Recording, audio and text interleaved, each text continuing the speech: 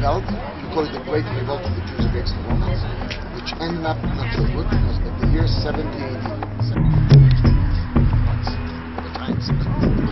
Cut short. That's the reason. And that changed the Middle East. Whatever happens in the world today, you know, Iraq, Syria stories, is because of that. The first one is the coastline. It's very flat. See the coastline?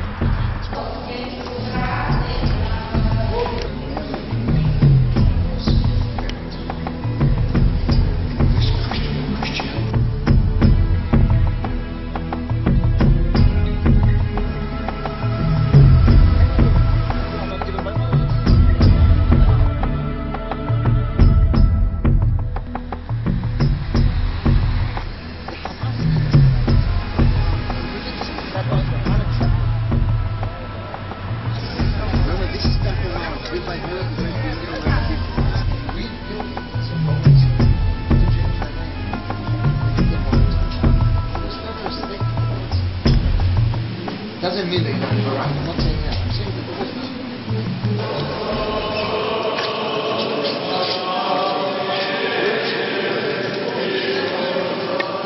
Like that story here, see it? Do it.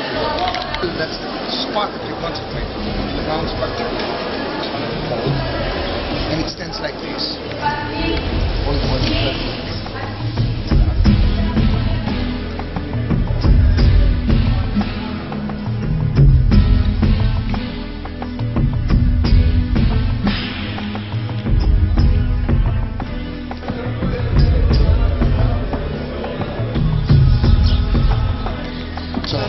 So, when temple was gone at 70 AD, and ever since then we don't have a temple, Jews wanted to be close. They actually wanted to go up there again, but the rabbi said you cannot go there because it's gone, and you may step on the holy ground and use the Holy of Holies. Remember that I said that, and I told you I'm going to bother you with this for ages. This was the only place where Jews would come.